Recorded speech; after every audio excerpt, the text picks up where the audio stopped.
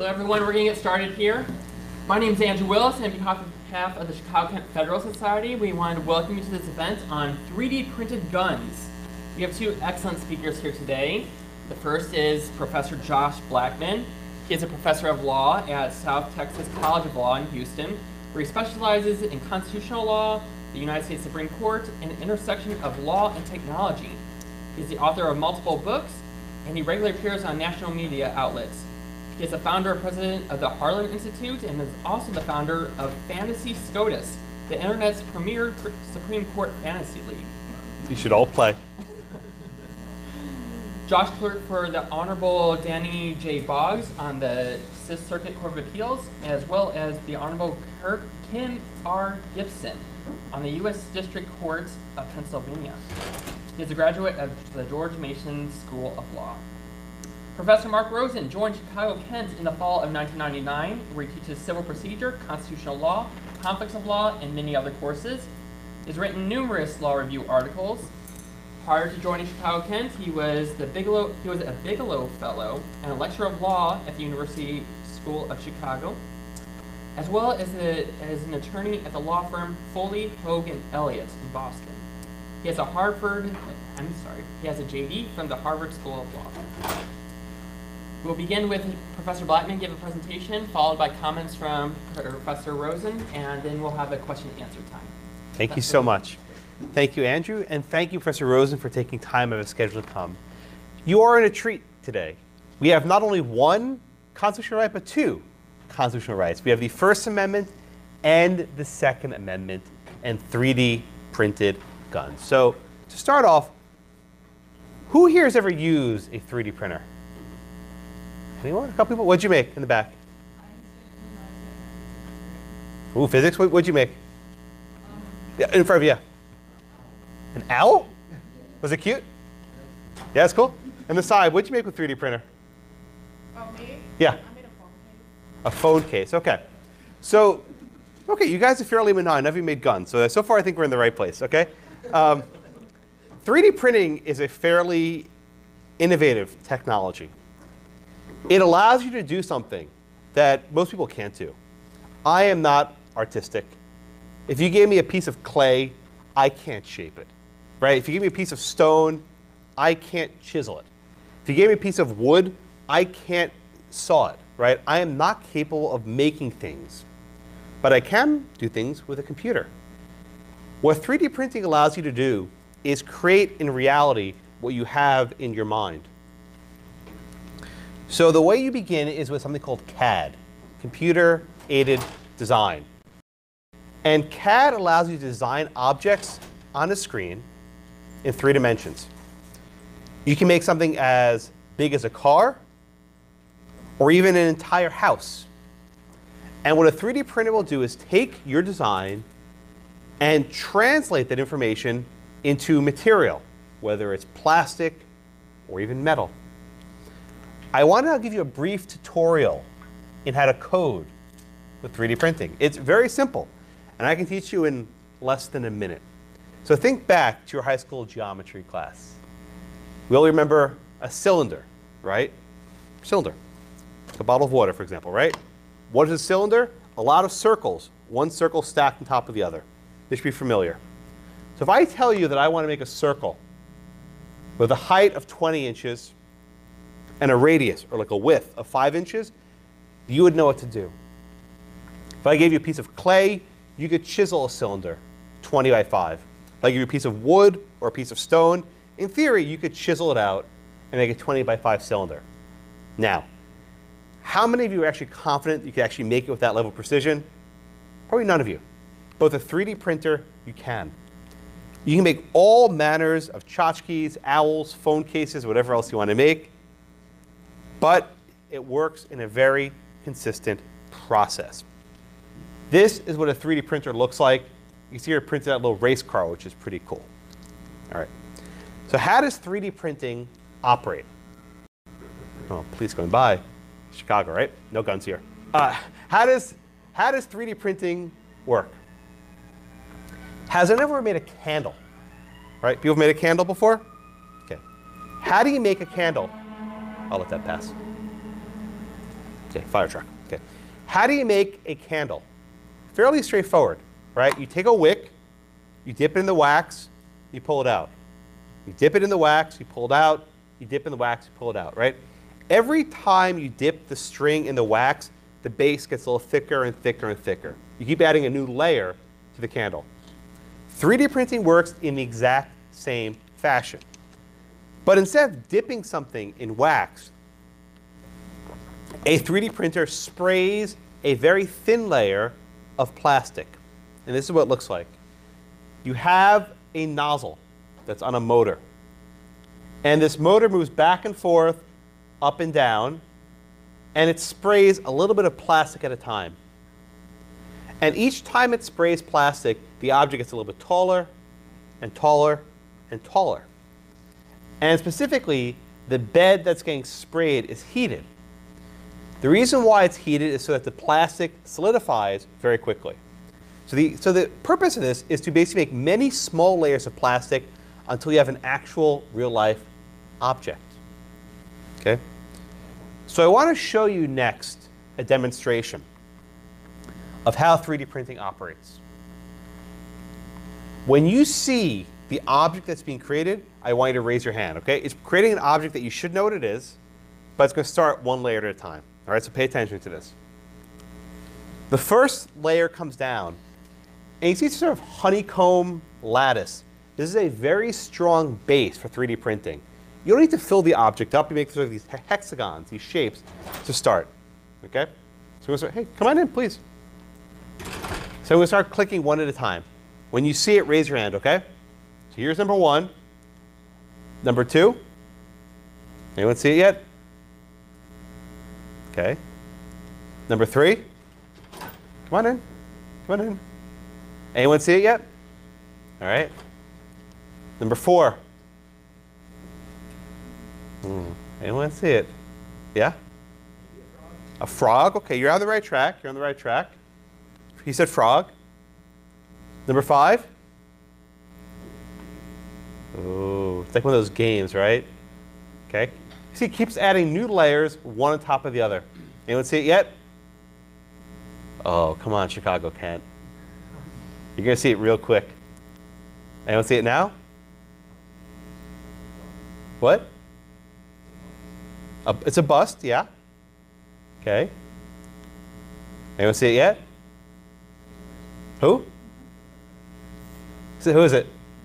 Yoda from Star Wars. Good job. Give her the prize, right?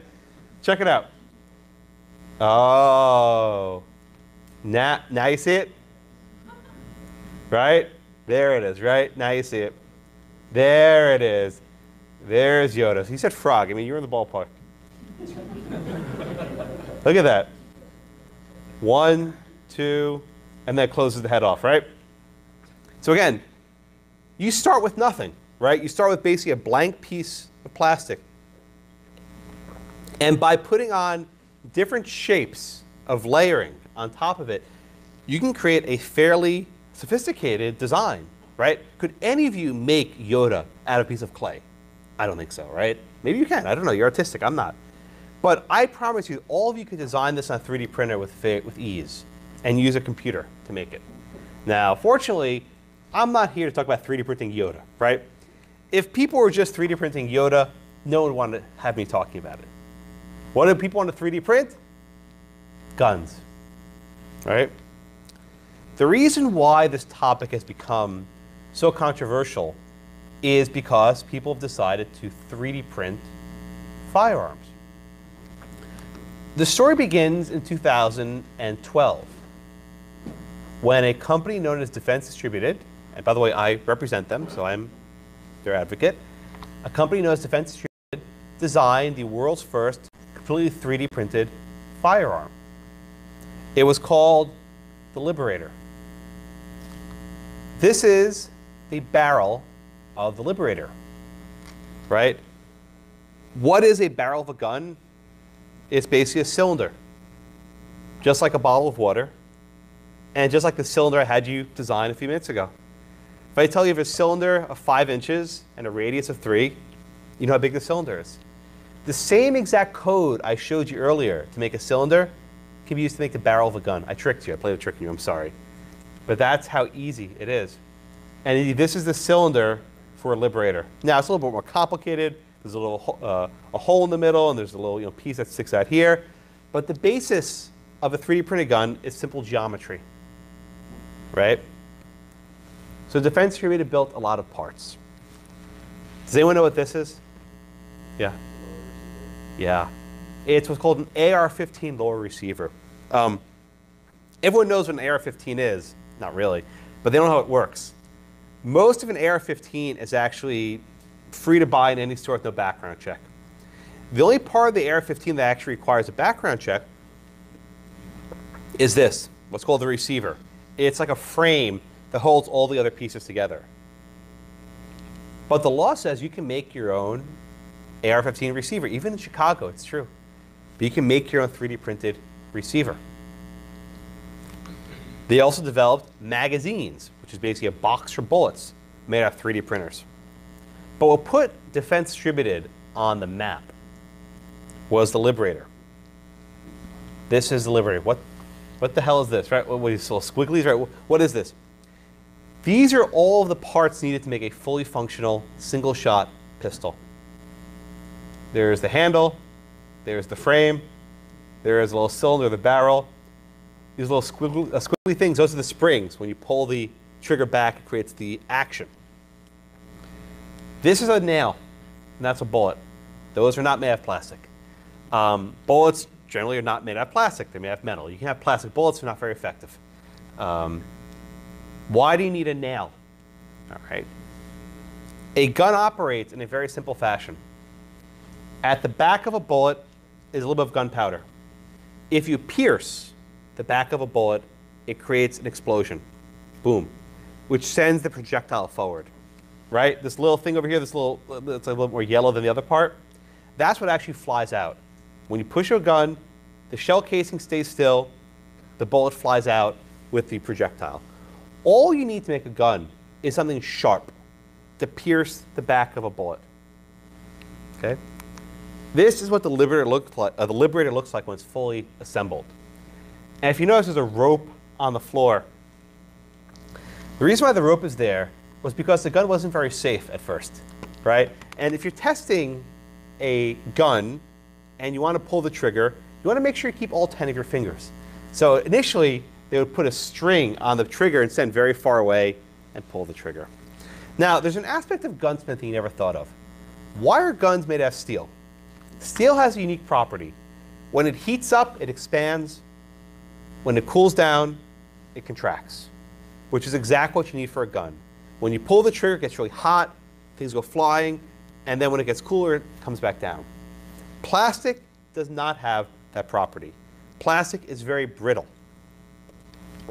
If you ever accidentally put a plastic wrapper in a microwave, we've all done that, right? Yes, I've done it. I did this week, in fact.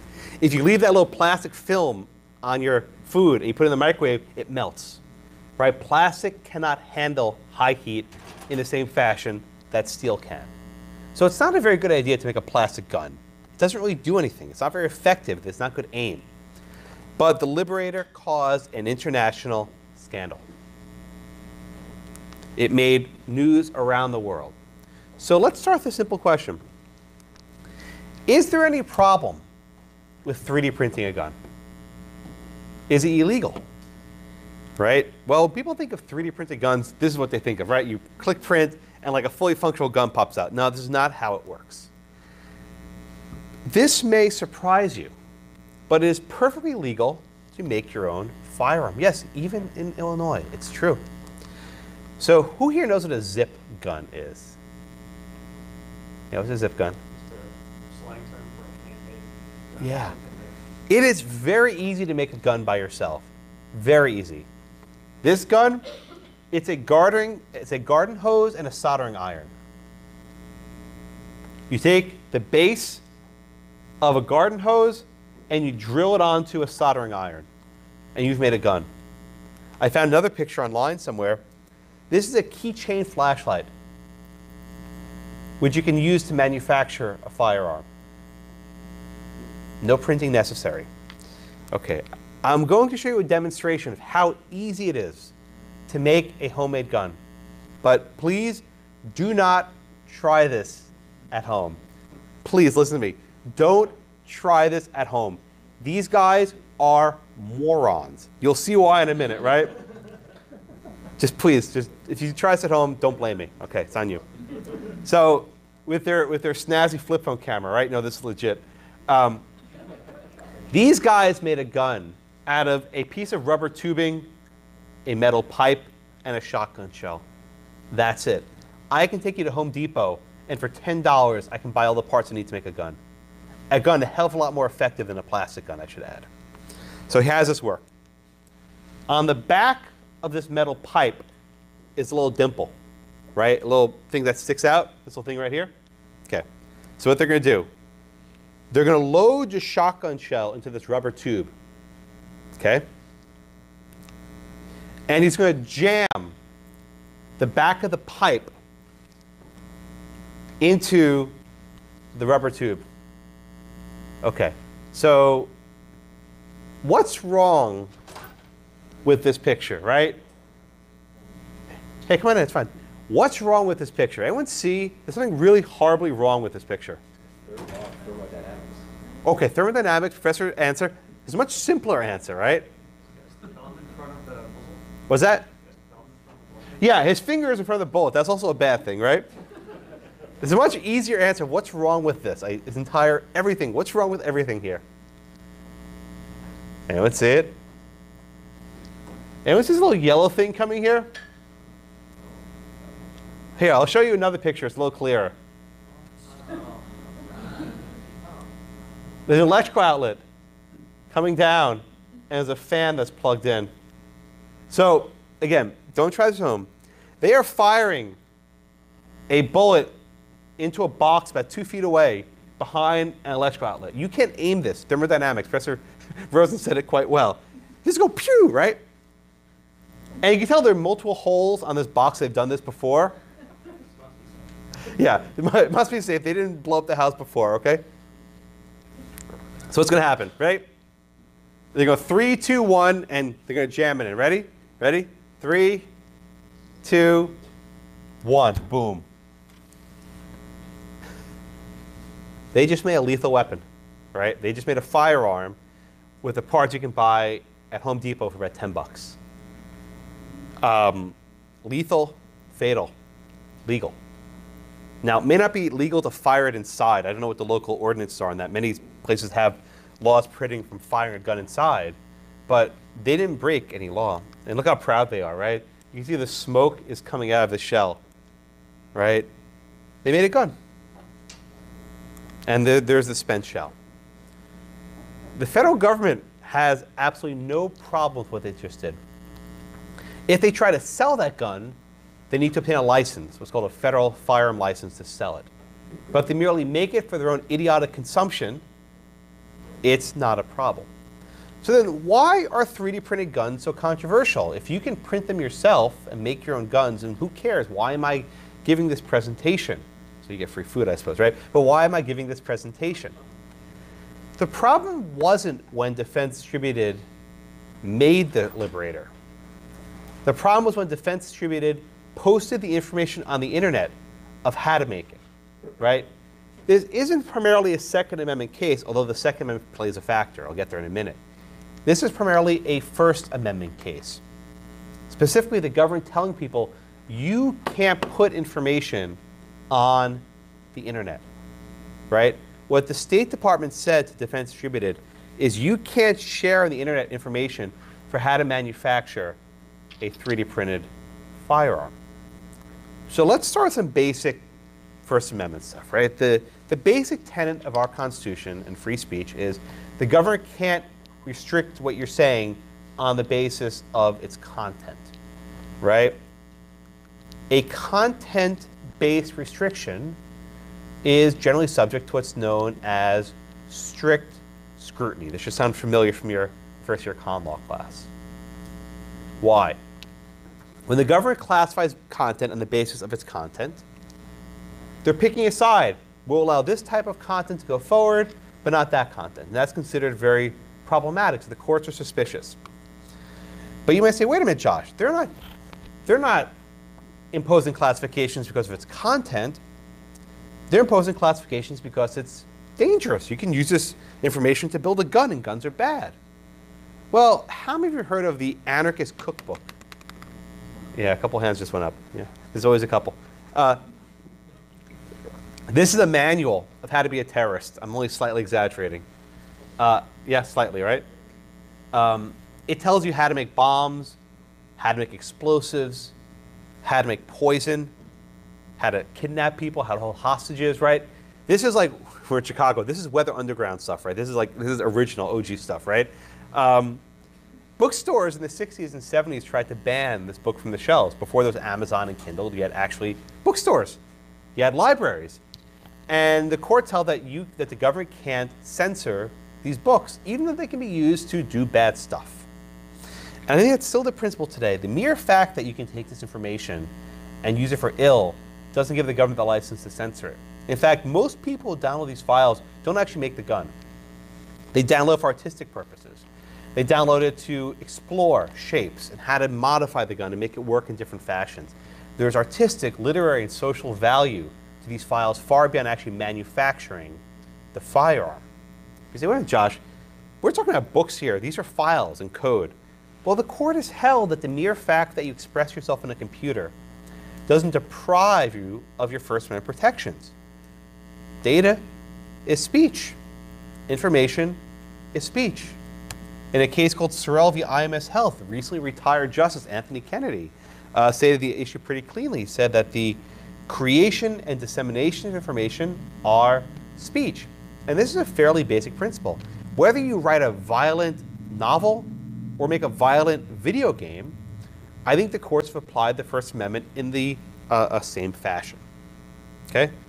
We live in a world where everything has code. But this is not only a First Amendment case, I think it's also implicated by the Second Amendment. Right? The Second Amendment provides a right to keep and bear arms. In a case called DC v. Heller, the Supreme Court held that this is a right that's individual in nature. It does not require service in the militia. It's an individual right to keep and bear arms. And a couple years later, in a case called McDonald v. City of Chicago, yes, you, uh, the Supreme Court held that Chicago's handgun ban was unconstitutional. Why does this matter? Heller and McDonald only concern the right to keep a handgun at home. And the Supreme Court hasn't revisited this doctrine in years. Indeed, perhaps now with the new member of the court, Justice Kavanaugh, uh, the court may see, see, fit to take another Second Amendment case, but we'll see. So, so far, the Supreme Court has only said that there's a right to keep a gun in the house, but I think there's also a couple of the rights at issue. One of which is a right to acquire arms. And what do I mean by that? Imagine the government passes a law and they say, um, you can have a gun if you already have it, but you can't buy any new guns. I think such a law would actually violate the Second Amendment because people who have the guns are privileged and people who don't have it aren't able to get them yet. Now, I'm not saying that this is a right that's absolute, the government can't restrict sales, but I think it's a general tenor that the first, I'm sorry, the Second Amendment protects a right to acquire new arms. And this is Dick Heller getting his gun permit. Now, maybe you agree with me on that one, maybe you don't. But my second argument is a lot stronger. There's a right to make arms. Since the beginning of our republic, long before we had stores, gun stores, if you wanted a gun, you made it yourself. Right, the militiamen, right? They couldn't go to Walmart, right, or Cabela's and buy a rifle. They had to manufacture it themselves. So I think there's a fairly deeply rooted tradition in our country of people making their own arms. And that's why to this day, to today, there's no prohibition on making your own firearm. The restrictions you can't have a machine gun, you can't sell a, shot, a, a, a, shotgun barrel, but as a general matter, you can make your own firearm to fit your own needs. So I think there's both a right to acquire arms and also a right to make arms under the auspices of the Second Amendment. But there's more, right? If you think about it, what the government's doing here is they're saying that you can't share information about how to make a gun, right? That implicates two rights. Give you an example, right? If the government passes laws saying you can't wish someone a Merry Christmas, you know, an actual war on Christmas, right? The government says you can't wish someone a Merry Christmas. Is that, is that a violation of free speech? or free exercise. Can't say Merry Christmas, maybe both, right? This is what the law calls a hybrid right, where a single law implicates two amendments. And the court said that these rights reinforce each other. So when you tell someone you can't speak about how to make a gun, I think it's a hybrid right, which implicates the First and the Second Amendments. All right. So I've given you the Constitution. Let's talk about the statute, right? Are there laws in the books that restrict 3D printed guns? Yes. There is something called the Undetectable Firearms Act. It was enacted in 1988. Limit 1988. A lot of you weren't even born that year, were you? No. Aren't I know, right? Aren't plastic guns like new? How could Congress ban a law banning undetectable guns 30 years ago? Plastic guns are not new. This technology is not new at all. So for the last three decades, it's been illegal to possess a firearm that will not trigger a metal detector. And that's still the law. And I don't have a problem with that law. But again, why did Congress pass this law? It had to do with a Glock handgun. Everyone know what a Glock handgun is? Right? It's always in the rap songs, right? The Glock, has a good rhyme, right? Uh, but, but the Glock is a very popular handgun. And unfortunately, this is Bruce Willis's fault. Um, it's Bruce Willis's fault, I'm sorry. In the Die Hard movie, Bruce Willis had this one line, which I will read, and I will butcher it. But he goes, Luggage, that punk pulled the Glock 7 on me. You know what that is? It's a porcelain gun made in Germany. It doesn't show up on your airport x ray machines here, and it costs more than what you make in a month. Every aspect of that sentence is incorrect, okay? There is no Glock 7. That model doesn't exist. It's not made of porcelain, it's made out of metal. It's not made in Germany, it's made in Austria. It will show up in an ray machine, and they're fairly affordable. But how does Congress legislate? In reaction to action movies, right? They see a movie like, oh my God, we got to ban this. So, in response to a Bruce Willis movie, Congress bans things that doesn't really exist. So, we have this Undetectable Firearms Act. You can't have a plastic gun. If you do, you're a felon. Indeed, the Liberator has a design where you basically solder a piece of metal into the handle, and that complies with the law. So if you actually make the gun without that, you are now a felon. Okay? So, what's new, right? There were efforts after the Defense Distributed Weapon to ban 3D printed guns altogether. That did not go anywhere. There have been efforts saying, well, maybe we should ban plastic, right? So people can't 3D print guns. Um, that's pretty foolish. Why? You can 3D print in plastic, or you can 3D print metal, like Terminator 2 style, right? You can actually make a 3D printed gun out of metal. That, that defeats the purpose, right? If it's metal, it's detectable, and you can buy a much cheaper metal gun elsewhere. But you can 3D print anything. Okay? Now, how did the government actually come down and catch defense distributed? Export control law. Now, this is an area that law students are generally not exposed to. But there's certain technologies that are so sophisticated, the government won't let you share them with non-US persons. All right?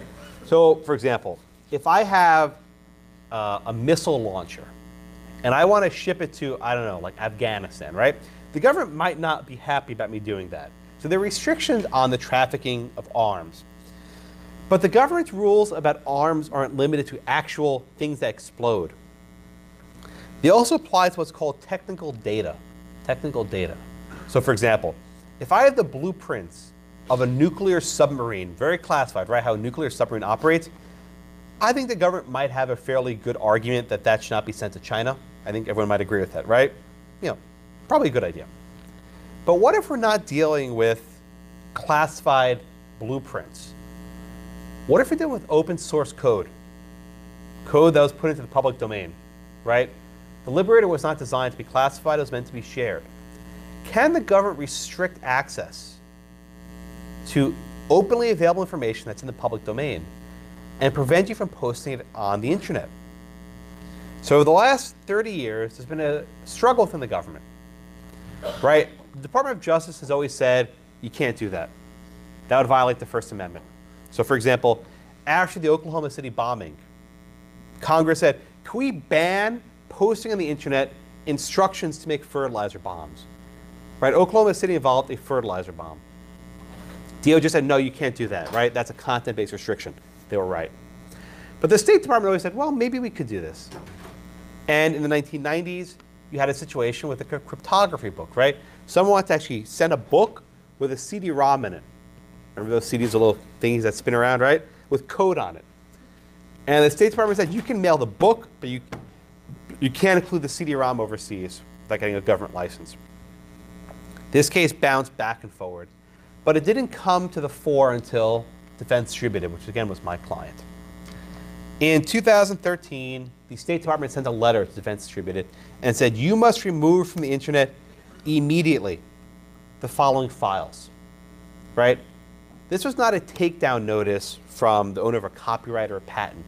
This was a takedown notice from the government. And the government never before ordered someone to take a file off the internet. Hasn't happened. Uh, we've been litigating this case for the last five years. Um, it's still in the courts. You've probably read about it. Uh, well, maybe I'll answer some questions about it during the Q&A. Uh, but I think for the reasons that we've argued in court, uh, we have First Amendment issues here. The government can't censor speech on the basis of its content. And moreover, I think we do have Second Amendment issues here. But I'll stop right here. I'll turn over to my good friend, Professor Rosen, and I welcome your questions later. Thank you all so much.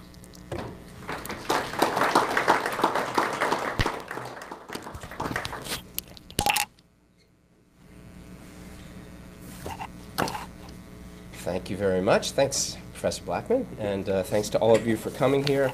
So um, there's a lot that we agree on, and um, I'll identify that and then the points where I think we disagree. So uh, I might well be willing to agree that there's um, constitutional rights that are at issue here. Um, um, fine.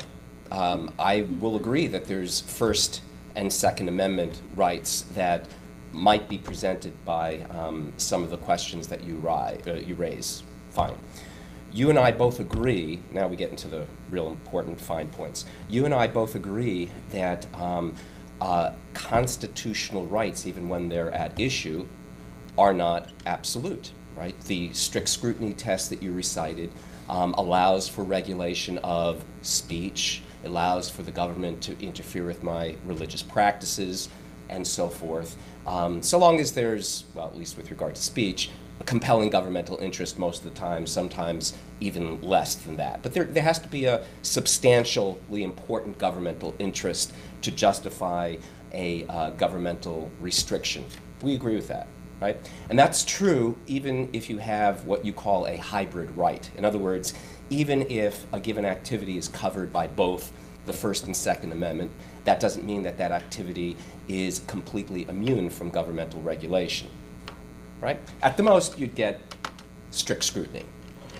Um, fine. So then the question becomes, it seems to me, um, uh, whether uh, there is a compelling governmental interest, or perhaps even less, uh, under intermediate scrutiny, uh, because as you well know, with regard to the Second Amendment at least, we don't have um, uh, a fixed and determinate level of scrutiny that um, regulations are subject to. So let me just uh, call it whether there's a sufficiently important governmental interest. The question is whether there, um, whether this technology, which um, permits anybody um, uh, to immediately print out a um, uh, effective and safe weapon, something that's quite different from the homemade weapons that you yourself were describing um, are available to me if I uh, foolishly go into Home Depot.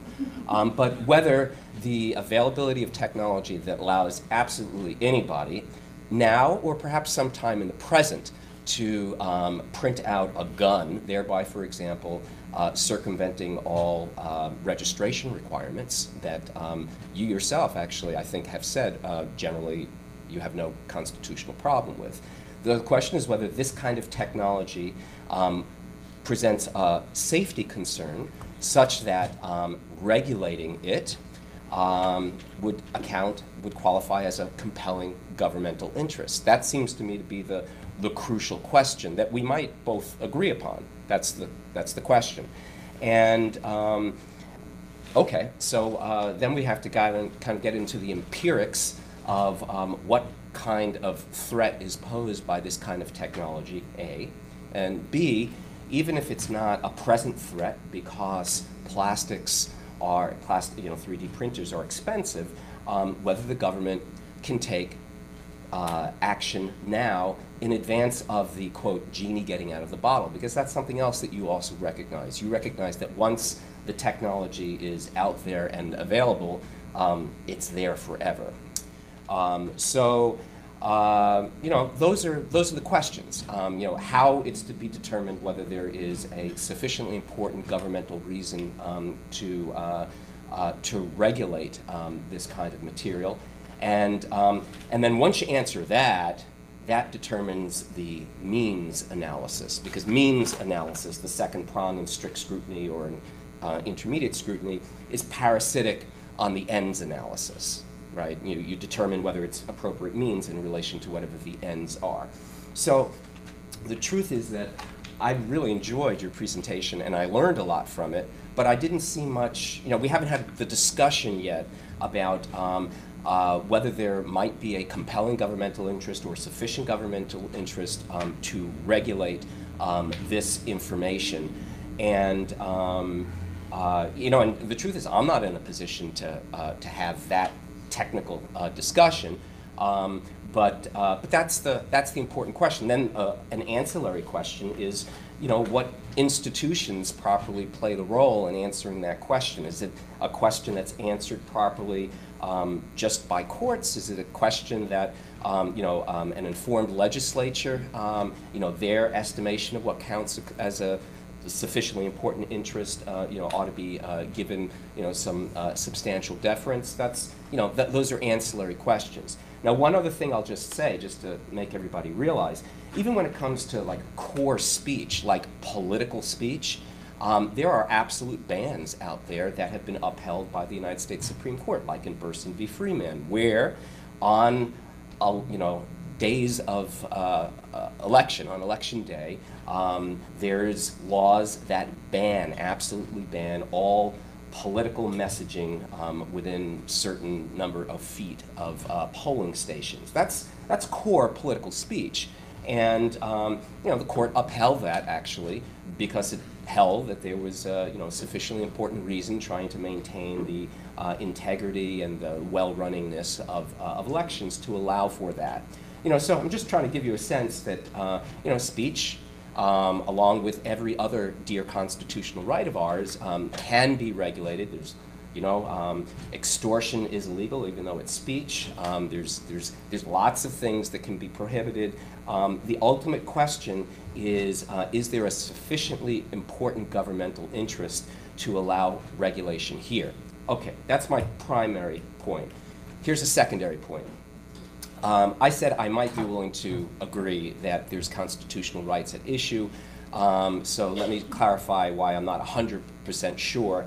Um, in a circumstance where um, firearms can be obtained commercially, it's not at all clear to me that there would be even a constitutional right that would extend to manufacturing one's own firearm. And um, even if it's true, I mean, look at the language of the Constitution. We have the right to, you know, bear arms. Even if bear arms means that you have to have access to arms, which I probably would agree with that, does having access to arms in a circumstance where there's commercial availability and the government can't ban the sale of arms, does that extend to uh, encompass a right, a constitutional right of individual citizens, citizens to manufacture their own arms? And it seems to me that the mere fact that we haven't had bans of that in the past is not a sufficient basis to say that that is a constitutional right uh, nowadays, although it would depend on your constitutional methodology, perhaps. Um, but, um, you know, so uh, I'd want to talk more about that um, as well. But again, even if the constitutional right were to extend to creating one's own weapon, um, we still would be left with the very first question that I identified, which is, is there a sufficiently strong governmental interest to justify um, regulation of this new technology? And of course, it, this is a, it seems to me, um, of, you seem to agree as well, a fundamentally new technology. I mean, I don't have to be expert anymore to create a firearm.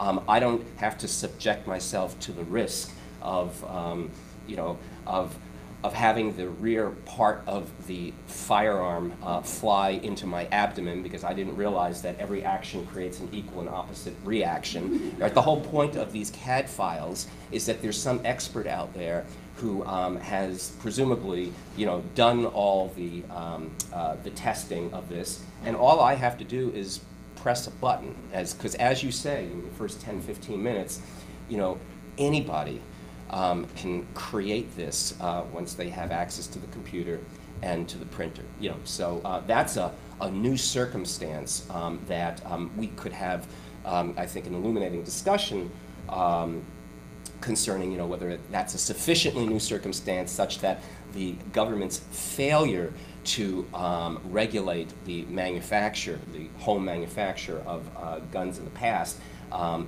you know, doesn't shed much light on the constitutionality of, um, of their ability to do that uh, in the future in light of this technology. Anyway, that's my, uh, that's my comments. I would love to have a conversation. Yeah.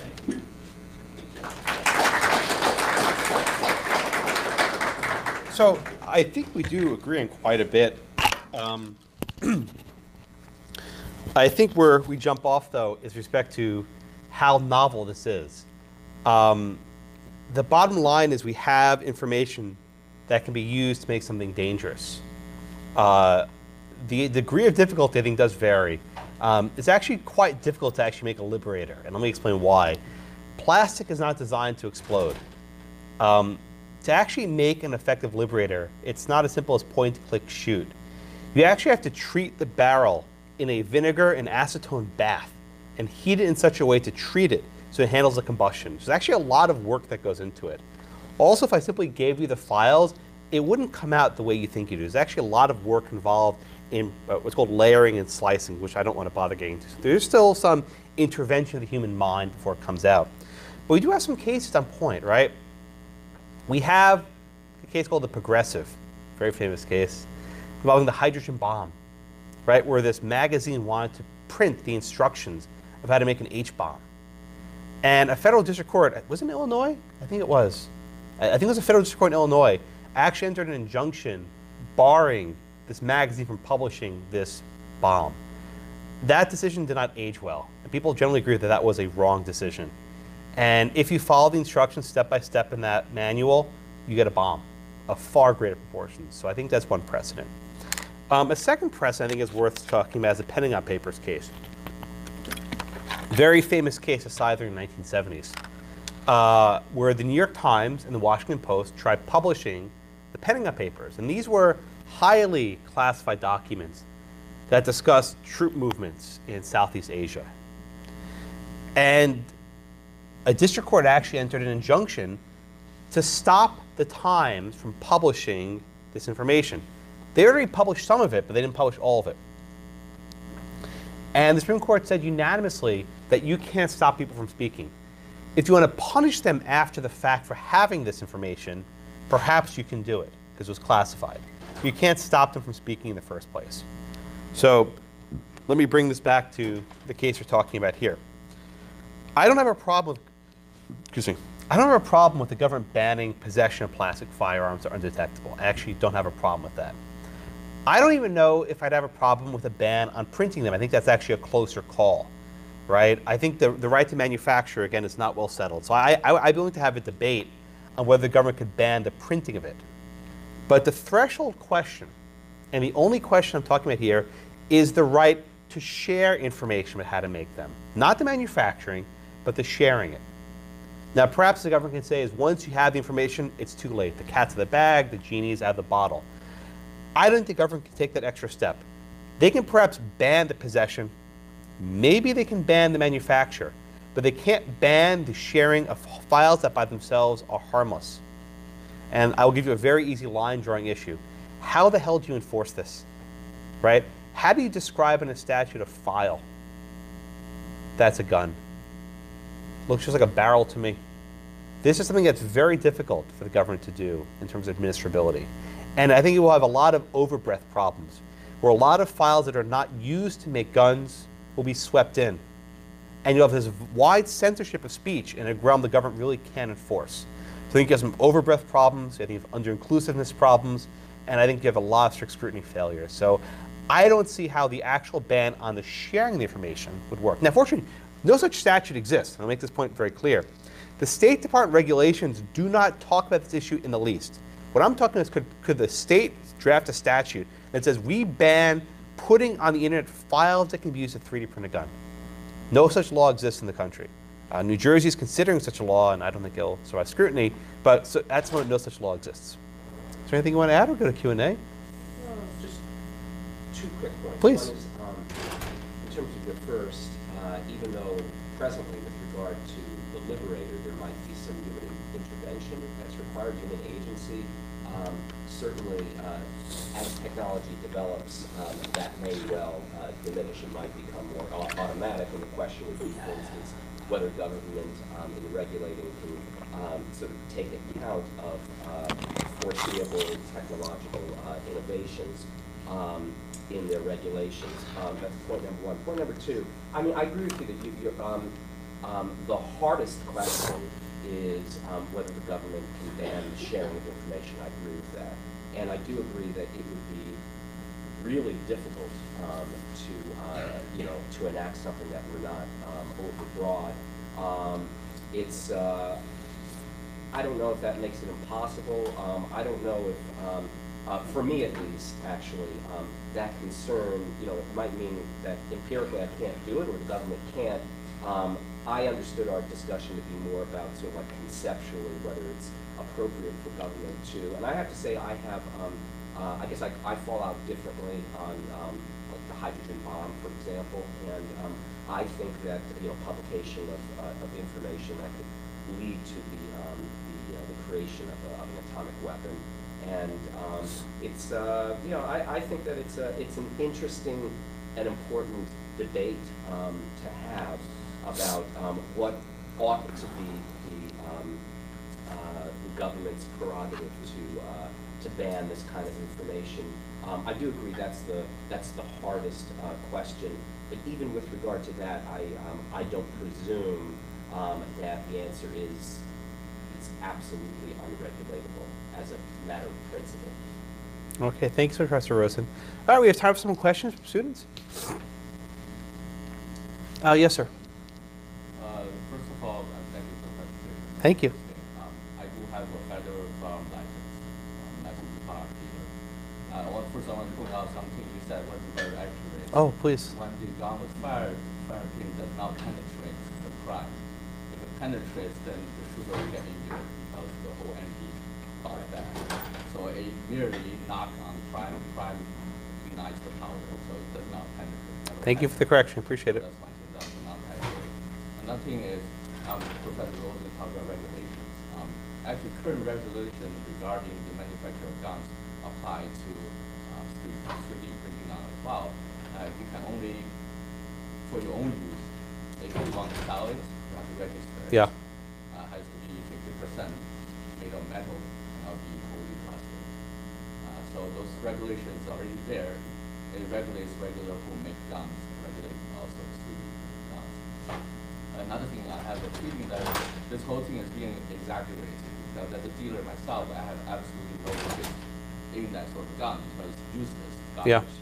Um, I, actually, it's a lot cheaper to buy tools and parts to make a real safe semi-automatic, uh, semi-modern AR-15 at home in the basement, costs about three hundred dollars, parts and machine. Uh, so I will never buy a 3D printing machine for the purpose of printing a one-shot plastic Yeah, thank you. Yeah, you're right. It, it, it's paranoia, right? It sounds really scary, but if you want to have an undetectable firearm, you're not going to use a 3D printer. There are far easier ways of making these. Uh, and they're not very effective. The plastic is brittle, it'll break, it's not safe. You can buy it, you can go down the street and buy a gun from a guy in the street for a lot less than it costs to make this gun. It'll be far more effective. Yeah. Uh, some other hand. Yeah, Andrew. Uh, what were some of the compelling interests the government um, put forth in your case? Um, so the case here actually isn't about domestic safety; it's about international affairs. They, they, they brought they brought a, uh, uh, an enforcement claim ag- against this uh, international law, and they said it could, you know, Al Qaeda can get these, right? They're afraid that terrorists abroad might use these in foreign assassinations. And these claims are fanciful, but you know, they said they actually said in their brief, I'm paraphrasing, that a foreign leader might be assassinated with a 3D printed gun. Okay. I mean, pretty remote, but okay. Other questions? Yeah. Isn't it with printing of a lower receiver though? Uh, from my understanding, when you print a lower receiver, you're printing a non-functioning receiver, eighty percent, and that's legal, it's not functional. But Yeah. You actually start to carve it out. The holes, yeah. 1%, Yeah. Then it actually is illegal, like, you cannot print that. Here in most places. Uh, I don't know the laws in Illinois. What, what's the what's the deal about making your own lowers? So, yeah, eighty percent lower is allowed, uh, when Yeah, it's, once it's more than that. Once, it's once longer- more than it is still allowed, uh, but you can only, um, make it eighty percent for your own use. Yeah. Yeah. But do you have to register after you drill the holes or no? Uh, if, as long as you don't sell it. Yeah. So, so again, even in Illinois, it's, thank you for confirming this. What I thought.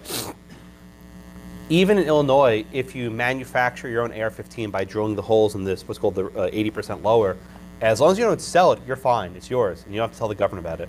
So, all of this again is a lot of paranoia. If you want to make a homemade gun that's a lot more effective, you don't need a 3D printer. Um, there are far more effective ways of doing it that are not illegal. Uh, yeah. So the way that those are manufactured, just a regular, like, I mean, wear metal, metal that doesn't detect your standard metal detectors, that could hit a pin. Like, I mean, I- when I wear my belt through the Daley Center, for instance, it doesn't go off more times than not. Or like pins, or things like that. I'm just curious, is it actually able to be manufactured in such a way that you walk through, like, just a regular metal detector? Are you talking about uh, the Liberator, or what, what gun are you Yeah, talking about? Well, the Liberator, again, it's designed to have a block of metal in it that would trigger it. Um, if you have a gun without it, that's, that, that, that's, that's illegal. You Well, I can't mean, have that. But like, can you make it, if I just remove that block of metal, would it still fire? It would, it would. As, so that's all it would take, take back into the. And let me, let me make this point. In 1988, there were undetectable firearms. the. Yeah, no, so there's, there's nothing, there's not, yeah, so this, is- this is a general response to gun control questions. If you're intent on smuggling a gun into a sensitive place, you're going to smuggle a gun to a sensitive place. And 3D printers are not a particularly smart way of doing so. Um, you can make a gun out of plastic, out of rubber, out of wood. There are lots of ways. Now, bullets may have metal. Um, the bullet will probably trigger more than the, the, the plastic itself. So I guess you have a gun without a bullet. I don't know what that will do, but you can have that. What else? Anyone else? All right, well, that's it. I'd Thank you all so much. Rest you so much. Thank you. Thank you. Thank you, sir. Yeah, it's fun. Enjoyable. Thank you. Um,